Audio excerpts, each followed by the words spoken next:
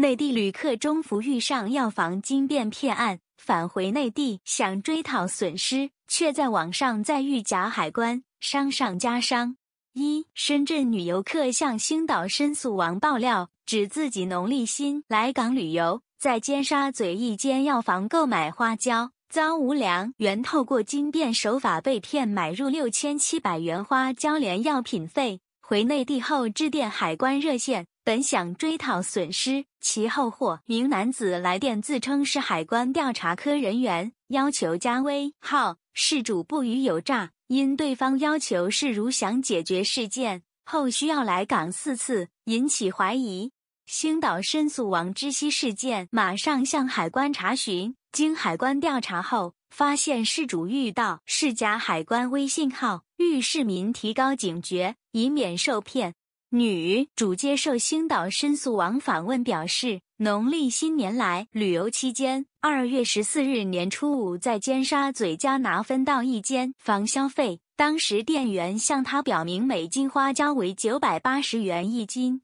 后获告知因为每九百八十元油污花椒已经切碎，必须钱。双方经争论后，店员声称已将花椒打折。要求支付六千七百元花椒连其他药品费，当时他急于即日返深圳，最终同意透过支付宝付款。当客并没有报，表示他回深圳后，二月十五日曾致电海关热线头，数天后收到一个三千七百五十九三千两百零五来电，对方自称是海关调查科员，要求女事主加微信号调查科昵称正义超人微信号。双方成为好友后，道出自己受骗的发经过及证据。对方声称可向法庭申请赔偿令，前提是花椒及单据我们会先检取作证物，案子了会还给你。正义超人又言之凿凿声称相关证会视乎上司是否用作证物，经法庭审理案件完后归还。